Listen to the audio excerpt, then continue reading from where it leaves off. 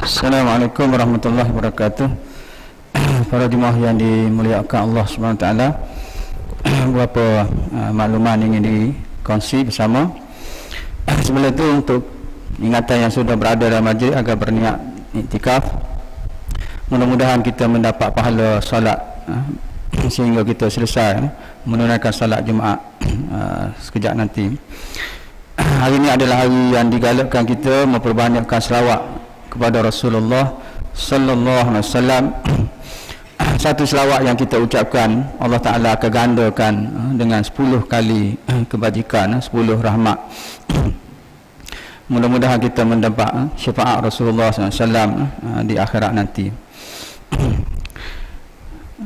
Satu risalah yang ditulis oleh Al-Fadhil Ustaz Wan Zainuddin bertajuk menuntut ilmu adalah jalan ke syurga ada dua hadis di uh, masukkan dalam uh, artikel ni dalam uh, helayan ni. Uh, ada naskah boleh uh, ambil di pintu masuk uh, masjid.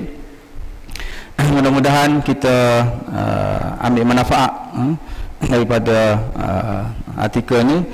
Uh, iaitulah salah satu saya petiknya hadis man salaka tariqan yaltamisu fihi ilman sahalallahu bihi tariqan ila jannah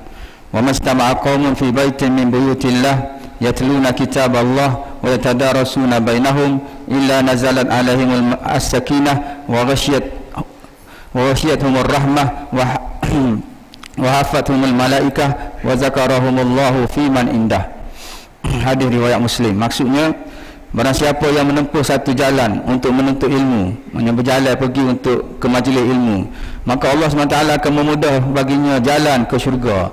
Nah, Itu salah satu jalan untuk menuju ke syurga. Maksudnya kalau mati tengah jalan itu mudah-mudahan ha, Mati dalam husnul khatimah ha, Mati dalam keadaan yang baik. Tidaklah satu kumpulan berkumpul dalam sebuah rumah. Ha, Rumah ke masjid ke. Di antara rumah-rumah Allah Membaca kitab Allah ini Al-Quran dan mempelajarinya. Ha, apa saja ilmu agama yang di, bersumber kepada Al-Quran ha, bersumber kepada sunnah ha, maka itu adalah majlis ilmu. Melainkan akan turun kepada mereka sakinah ini ketenangan diliputi ke atas mereka rahmat dan dinaungi oleh malaikat. Serta Allah SWT akan menyebut mereka kepada malaikat yang berada di sisinya Allah Ta'ala berbangga dengan uh, orang-orang yang menuntut ilmu uh, berada di majlis-majlis ilmu uh, di hadapan para malaikat.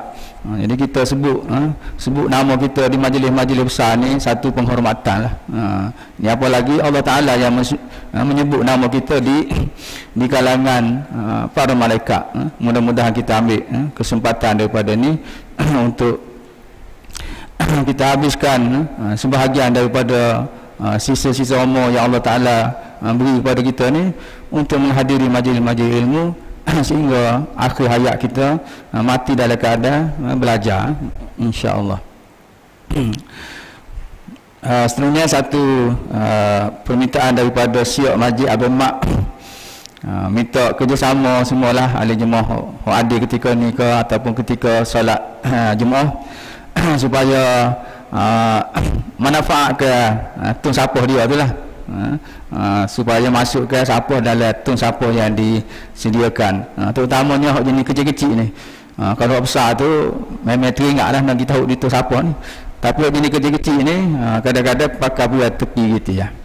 Uh, jadi hak uh, kita ni ada tiga orang je majlis ni. Uh, jemaahnya ada 400-500 orang. Hari jemaah 1000 jadi tak ada ha, hok je buat siapa ramah hok je sapunya tiga orang ya. ha, tapi saya nak petik satu hadis ha, riwayat Ibnu Majah.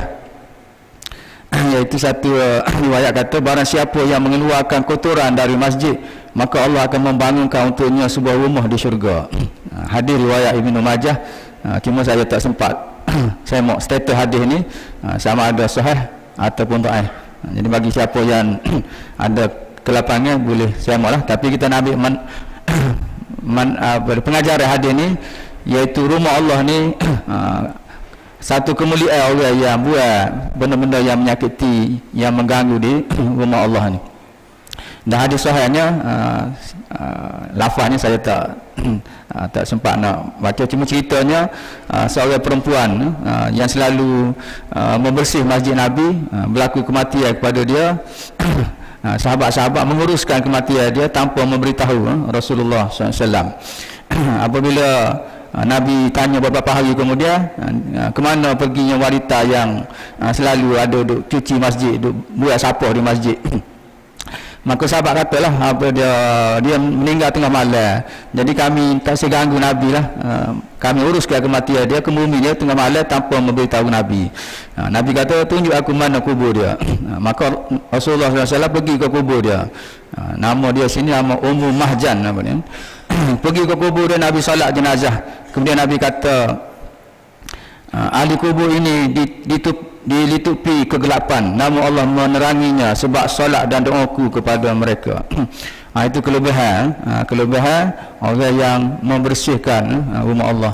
Jadi kita sama-sama bagi kerjasama ha, kepada siap kita untuk meringankan tugas dia. Mudah-mudahan Allah Ta'ala bagi ganjaran yang besar kepada kita.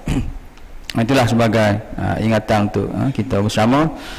Mudah-mudahan kita ha, diberi uh, taufik hidayah kepada oleh Allah Subhanahu taala uh, untuk me melakukan kebaikan walaupun kecil uh, walaupun kecil tapi uh, kita utamakan uh, kebaikan. Dan Allah taala selamatkan kita uh, walaupun dengan benda kecil uh, selamatkan kita daripada azab neraka di akhirat nanti. Allahumma amin. Sekianlah uh, untuk uh, renungan kita bersama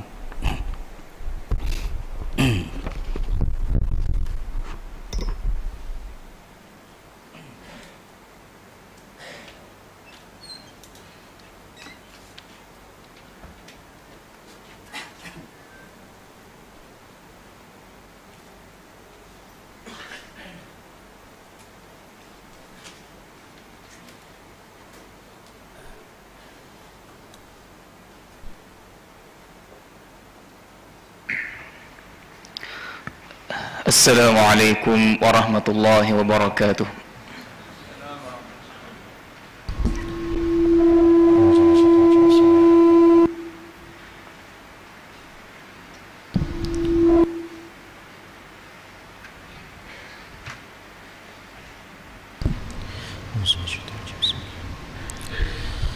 الله أكبر الله أكبر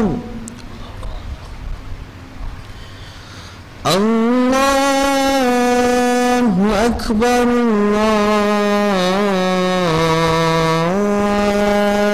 الله أكبر.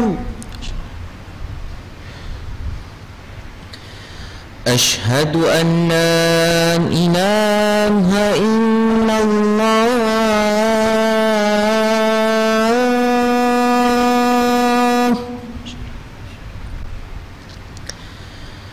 أشهد أن لا إله إلا الله.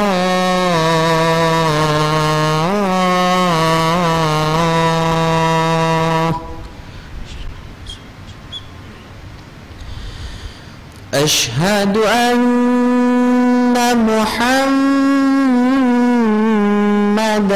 رسول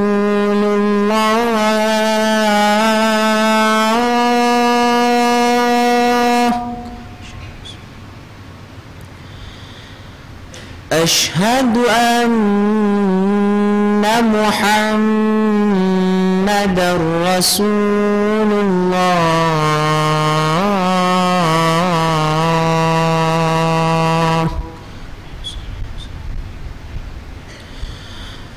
حي على الصلاة.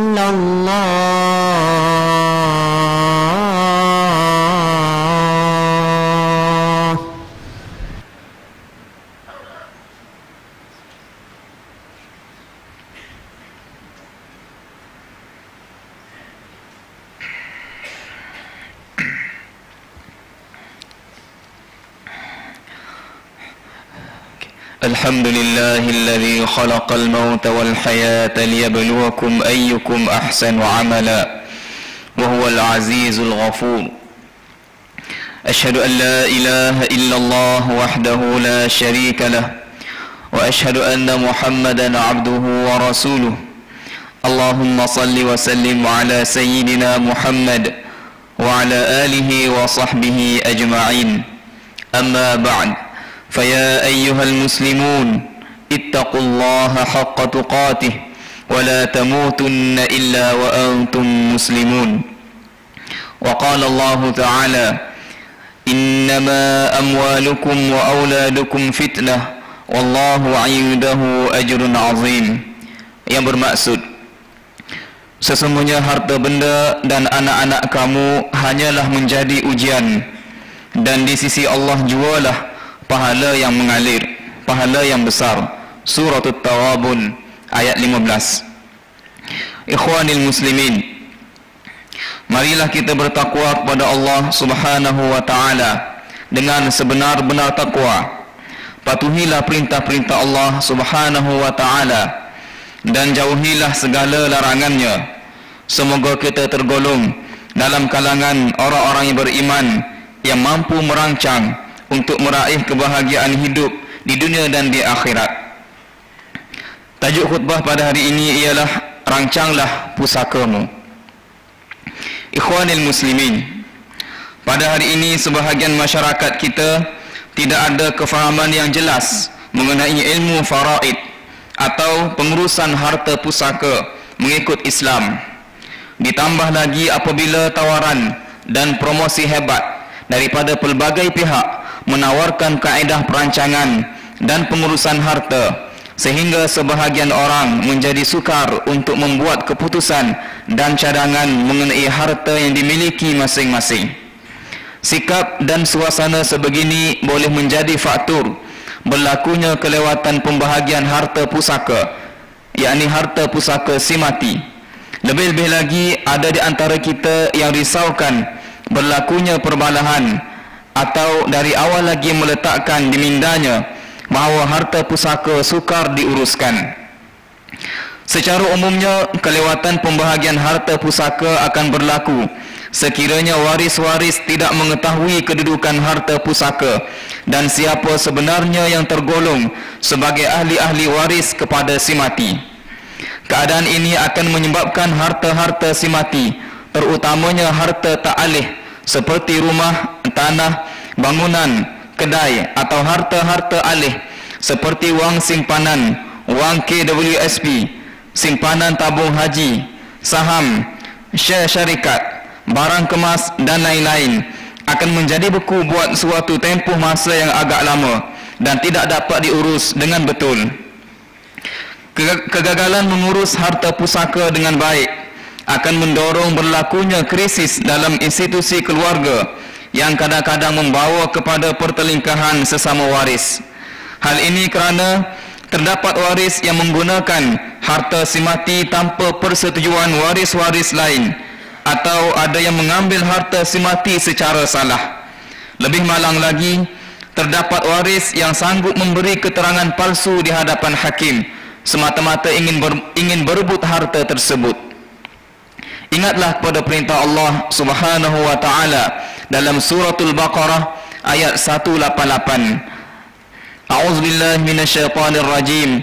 ولا تأكلوا أموالكم بينكم بالباطل وتدلوا بها إلى الحكام لتأكلوا فريقا لتأكلوا فريقا من أموال الناس بالإثم وأنتم تعلمون yang bermaksud dan janganlah kamu makan atau mengambil harta orang-orang lain di antara kamu dengan jalan yang salah.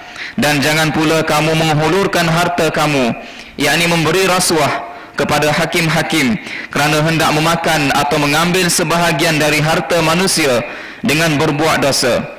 Padahal kamu mengetahui salahnya. Ikhwanil muslimin sebenarnya untuk mengelakkan harta pusaka menjadi beku dan waris berbalah sama sendiri ia boleh ditangani dengan berkesan sekiranya masyarakat kita membuat perancangan awal secara kemas dan sistematik sebelum meninggal dunia Perancangan seseorang individu ke atas pembahagian harta pusaka dilakukan adalah untuk mencapai empat matlamat berikut.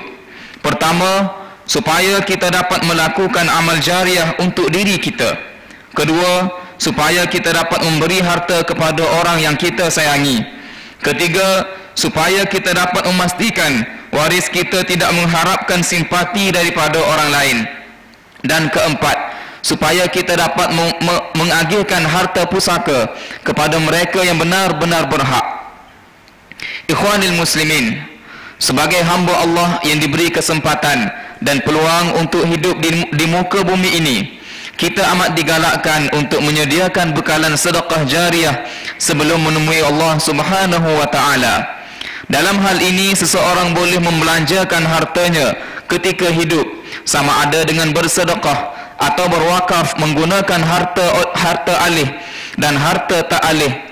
Secara umumnya, kebanyakan daripada kita memahami maksud hadis daripada Abu Hurairah radhiyallahu anhu bahawa Rasulullah sallallahu alaihi wasallam bersabda, "Idza mata al-insan inqata'a anhu 'amaluhu illa min thalathah, illa min sadaqatin jariyah aw 'ilmin yuntafa'u bih aw waladin salihin yad'u lahu." Rawahu Muslim yang bermaksud apabila manusia meninggal dunia akan terputuslah daripadanya amalannya melainkan tiga perkara yaitu sedekah jariah ilmu yang dimanfaatkan atau anak soleh yang mendoakannya.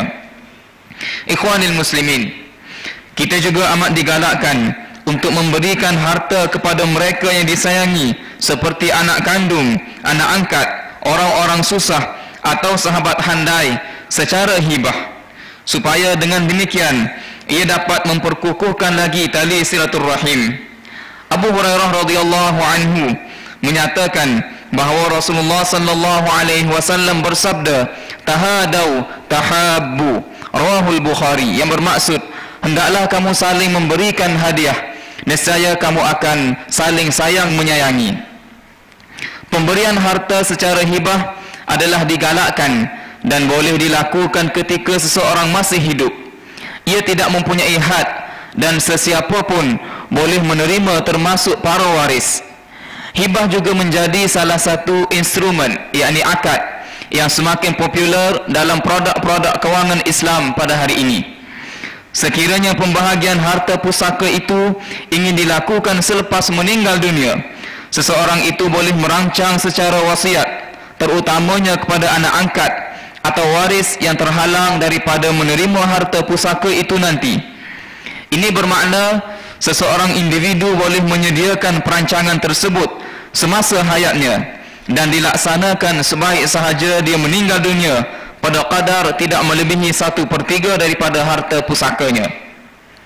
Semua ahli masyarakat di Kelantan dan seluruh di, dan di seluruh negara perlu sedar akan akan kepentingan menulis surat wasiat kerana ia merupakan kaedah yang membolehkan seseorang yang terhalang daripada menerima harta pusaka itu menikmati pemilikan harta. Galakan menulis wasiat ini ada dijelaskan melalui had, melalui hadis daripada Abdullah ibnu Umar radhiyallahu anhuma bahawa Rasulullah sallallahu alaihi wasallam bersabda Ma haqqu mri'in muslimin lahu syai'un yusi fih yabitu lailatain illa wasiyatuhu maktubatun 'indah. Rawahul bukhari. Yang bermaksud tidak sepatutnya seseorang muslim yang mempunyai sesuatu yang ingin diwasiatkan tidur dua malam berturut-turut melainkan dia menulis wasiat di sisinya. Ikhwanil muslimin kesedaran mengenai pusaka wasiat dan hibah ini masih rendah dalam kalangan orang Islam. Sedangkan ilmu berkaitan pengurusan harta sebegini sepatutnya dijadikan sebahagian daripada keperluan hidup sebagai seorang muslim. Mengapa terjadinya sedemikian? Jawapannya ialah kerana sesetengah umat Islam tidak memikirkan tentang kematian yang pasti datang pada bila-bila masa atau mungkin juga disebabkan ilmu dan maklumat berkenaan pengurusan harta atau kewangan atau kewangan diri dan keluarga masih rendah. Kelebihan menulis surat wasiat atau dokumen hibah sebenarnya antara lain mampu memudahkan proses pembahagian harta selepas kematian kita, mengelakkan salah faham atau perbalahan antara waris selain kita dapat melantik wasi atau pentadbir yang diyakini bertanggungjawab dan amanah untuk mentadbir harta pusaka kita apabila kita sudah tiada nanti. Ikhwanil muslimin Sebagai pemilik harta Kita juga perlu memastikan Waris-waris akan memperolehi harta pusaka daripada kita Kita pasti tidak ingin melihat Waris-waris kita nanti pada suatu masa Meminta-minta daripada orang lain Atau menagih simpati daripada orang ramai. Dalam hadis Sa'ad bin Abi Waqqas radhiyallahu anhu Rasulullah sallallahu alaihi wasallam bersabda innaka an tad'a warathataka aghniya'a khairun min an tad'ahum 'alatan yatakaffafuna an-nas fi aydihim. Rawahu al-bukhari yang bermaksud sesungguhnya engkau meninggalkan ahli waris dalam keadaan berkecukupan. Lebih baik daripada engkau meninggalkan mereka miskin meminta-minta dengan orang ramai apa yang ada di tangan mereka. Sebagai akhirnya, ingatlah para jemaah sekalian, sesungguhnya harta adalah suatu amanah daripada Allah Subhanahu wa taala. Semua harta kita akan dipersoal dan dipertanggungjawabkan dari mana ia diperolehi dan ke mana ia dibelanjakan. Jadi pastikan harta-harta kita dapat diuruskan dengan baik dan diberikan kepada mereka yang berhak dan disayangi dengan cara yang paling adil. A'udzu billahi minasyaitonir rajim. Wal yakhshal ladzina law taraku min khalfihim dhurriyyatan dha'afan khafu 'alaihim falyattaqullaha wal yaqulu qawlan sadida. Yang bermaksud dan hendaklah kamu takut kepada Allah daripada melakukan aniaya kepada anak-anak yatim oleh orang-orang yang menjadi penjaganya yang jika ditakdirkan mereka pula meninggalkan anak-anak yang daif yakni yatim di belakang mereka tentulah mereka akan merasa bimbang terhadap masa hadapan dan keselamatan anak-anak mereka. Oleh itu hendaklah mereka bertakwa kepada Allah Subhanahu wa taala dan hendaklah mereka mengatakan perkataan yang betul yakni menepati kebenaran. Surah An-Nisa ayat 9. Barakallahu li wa lakum fil Qur'anil azim wa nafa'ani wa iyyakum bima fihi min al-ayati wadh-dhikril hakim wa taqabbala minni wa minkum tilawatahu innahu huwas samiul alim. أقول قولي هذا وأستغفر الله لي ولكم ولجميع المسلمين والمسلمات والمؤمنين والمؤمنات فاستغفروه فيا فوز المستغفرين ويا نجاة التائبين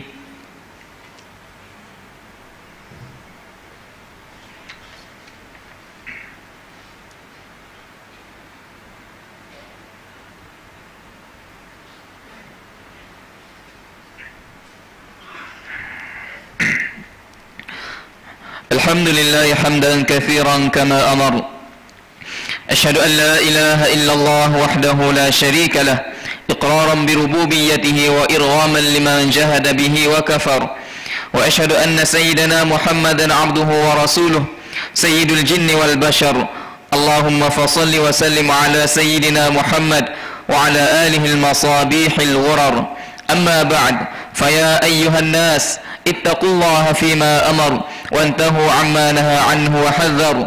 واعلموا أن الله أمركم بأمر بدأ فيه بنفسه وثنى بملائكة قدسه.